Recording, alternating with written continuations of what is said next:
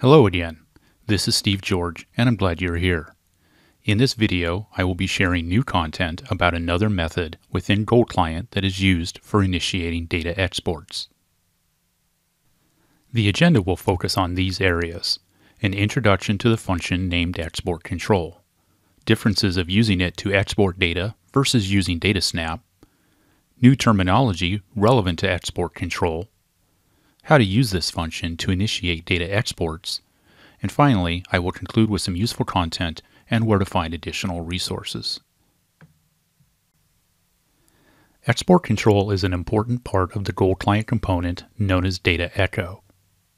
It is one of two functions that can be used to initiate data exports, the other being DataSnap, which has been covered in a separate video.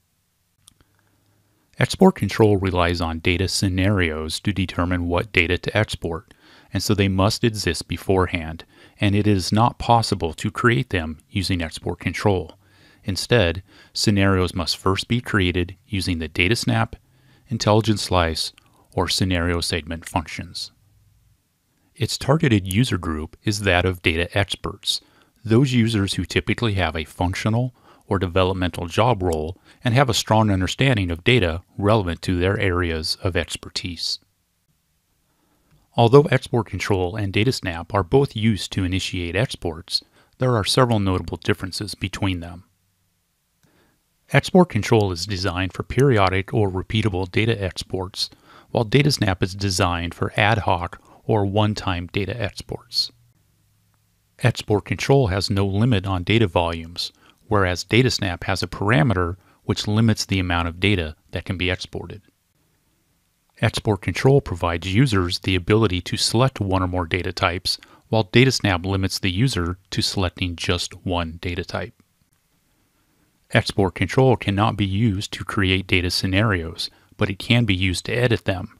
DataSnap can be used to create data scenarios, but it cannot be used to edit them.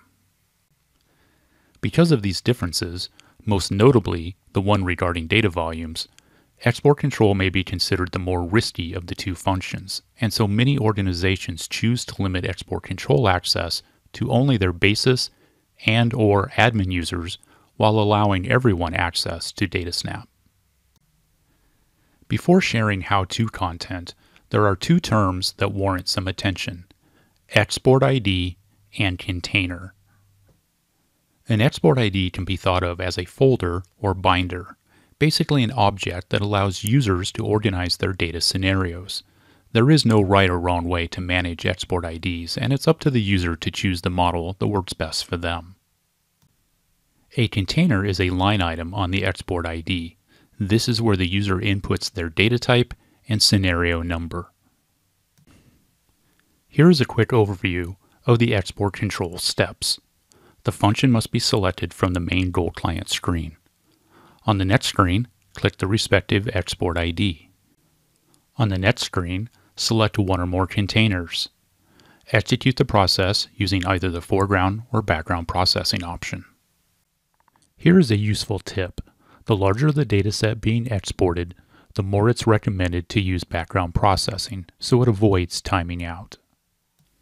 Please note that the export ID and containers must already exist, and that if they do not, the user must create them prior to starting the export. Let me now walk through these steps using the Gold Client user interface.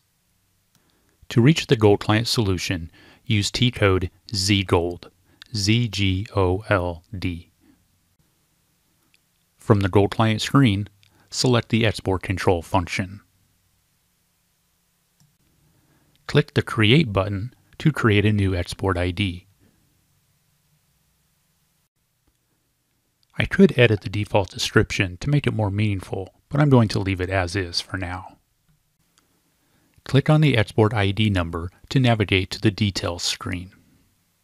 Click on the Add Container button.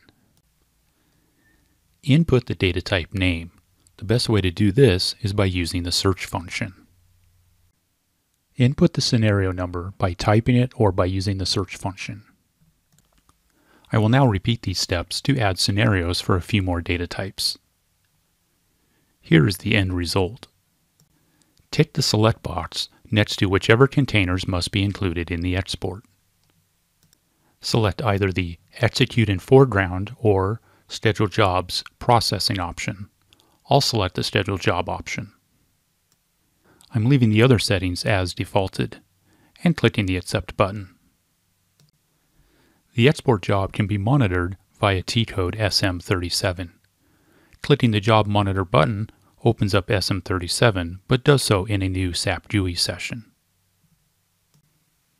Now it's just a matter of waiting for the export process to complete.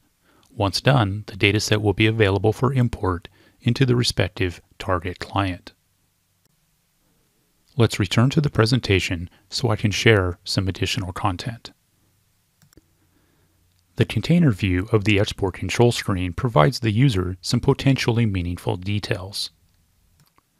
The scenario number column allows the user to navigate to the data selection screen where the user's criteria can be displayed or even changed. The record count column shows the number of qualifying records based on the scenario's data criteria. The user may determine that the number of records is too high or too low for their use case, and so may need to update their selection criteria accordingly. The transform and subset columns contain indicators showing whether the scenario's assigned data type is configured to use data transformation and or subset sync functionality. If the light is on, then the corresponding configuration has been defined and will be applied during the export process. The parallel processing option is available in export control, which allows the user to initiate their export using multiple background jobs versus only one job. Of course, this setting is useful for accelerating the completion of the export, especially for larger data sets. Please be aware that Gold Client has configuration that will dictate the maximum number of jobs that can be initiated.